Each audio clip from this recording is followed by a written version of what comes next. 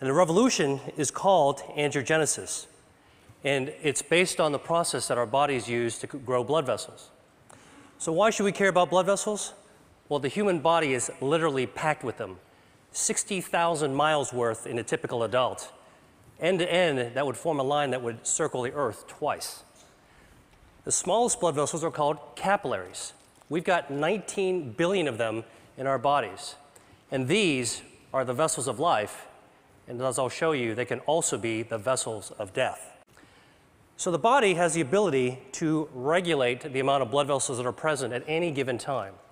And it does this through an elaborate and elegant system of checks and balances, stimulators and inhibitors of angiogenesis, such that when we need a brief burst of blood vessels, the body can do this by releasing stimulators, proteins called angiogenic factors, that act as natural fertilizer and stimulate new blood vessels to sprout.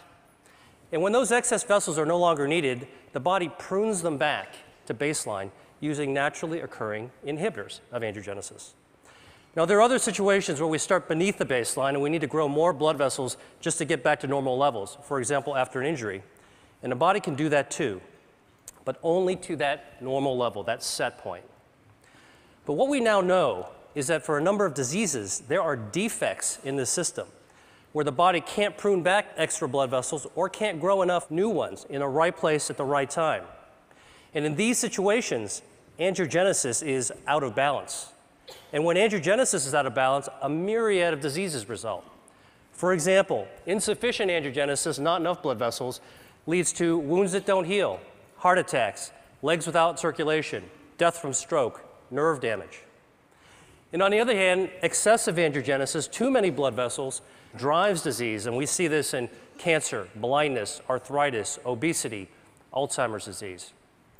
In total, there are more than 70 major diseases affecting more than a billion people worldwide that all look on the surface to be different from one another, but all actually share abnormal angiogenesis as their. Now, I'm going to focus on cancer because angiogenesis is a hallmark of cancer, every type of cancer.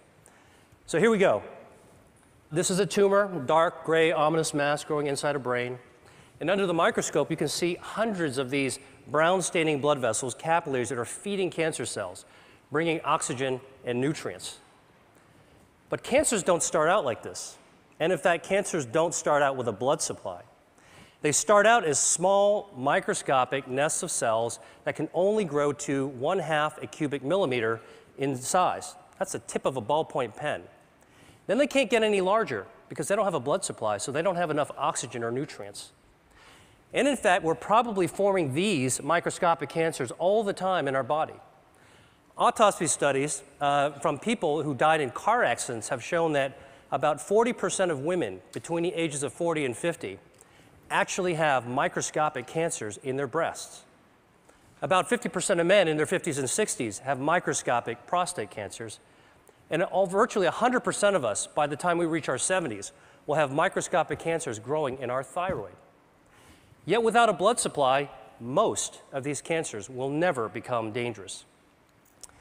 Dr. Judah Folkman, who was my mentor and who was the pioneer of the angiogenesis field, once called this cancer without disease. So the body's ability to balance angiogenesis, when it's working properly, prevents blood vessels from feeding cancers. And this turns out to be one of our most important defense mechanisms. A cancer goes from being harmless to deadly. Cancer cells mutate, and they gain the ability to release lots of those angiogenic factors, natural fertilizer, that tip the balance in favor of blood vessels invading the cancer. And once those vessels invade the cancer, it can expand, it can invade local tissues, and the same vessels that are feeding tumors allow cancer cells to exit into the circulation as metastases. And unfortunately, this late stage of cancer is the one at which it's most likely to be diagnosed. When angiogenesis is already turned on, and cancer cells are growing like wild. So, if angiogenesis is a tipping point between a harmless cancer and a harmful one, then one major part of the angiogenesis revolution is a new approach to treating cancer by cutting off the blood supply. We call this anti angiogenic therapy, and it's completely different from chemotherapy. So, to look for a way to prevent angiogenesis in cancer, I went back to look at cancer's causes. And what really intrigued me was when I saw that diet accounts for 30 to 35% of environmentally caused cancers. Now, the obvious thing is to think about what we could remove from our diet, what to strip out, take away. But I actually took a completely opposite approach and began asking what could we be adding to our diet that's naturally anti angiogenic, that could boost the body's defense system and beat back those blood vessels that are feeding cancers? In other words, can we eat to starve cancer? Well, the answer is yes, and I'm going to show you how. And our search for this has taken us to the market, the farm, and to the spice cabinet because what we've discovered is that Mother Nature has laced a large number of foods and beverages and herbs with naturally occurring inhibitors of angiogenesis. So here's a test system we developed. Uh, at the center is a ring from which hundreds of blood vessels are growing out in a starburst fashion. And we can use this system to test dietary factors at concentrations that are attainable by eating. So let me show you what happens when we put in an extract from red grapes. The active ingredient is resveratrol. It's also found in red wine. This inhibits abnormal angiogenesis by 60%. Here's what happens when we add an extract from strawberries. It potently inhibits angiogenesis. An extract from soybeans. And here is a growing list of our anti-angiogenic foods and beverages that we're interested in studying. And for each food type, we believe that there's different potencies within different strains and varietals. And we want to measure this because, well, while you're eating a strawberry or drinking tea, why not select the one that's most potent for preventing cancer? And in fact, when we give cancer patients anti-angiogenic therapy, here, an experimental drug for a glioma, which is a type of a brain tumor, you can see that there are dramatic changes that occur when the tumor is being starved. Here's a woman with a breast cancer being treated with the anti-angiogenic drug called Avastin, which is FDA approved.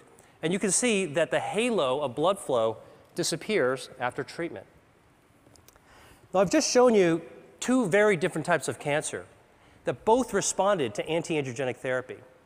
So a few years ago, I asked myself, can we take this one step further and treat other cancers even in other species. Here's a cancer growing on the lip of a quarter horse named Guinness. It's a very, very deadly type of cancer called an angiosarcoma, had already spread to his lymph nodes. So we used the anti-angiogenic skin cream for the lip and the oral cocktail so we could treat from the inside as well as the outside. And over the course of six months, he experienced a complete remission.